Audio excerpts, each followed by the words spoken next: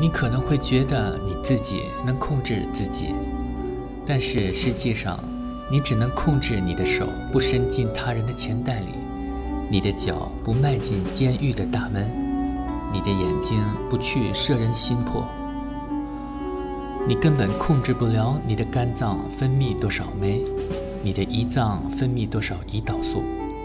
你更控制不了你的心跳你的血压你大脑里的潜意识